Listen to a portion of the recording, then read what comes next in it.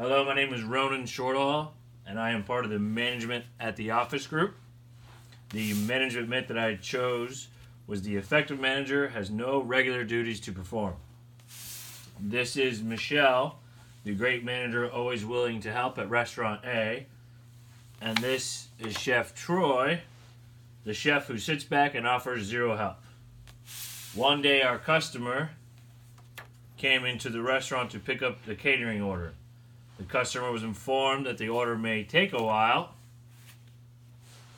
as the kitchen was understaffed and the chef was nowhere to be seen.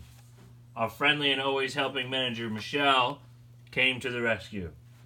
She organized help from the prep area to ensure that the customer didn't have to wait and then brought the food out to the guest.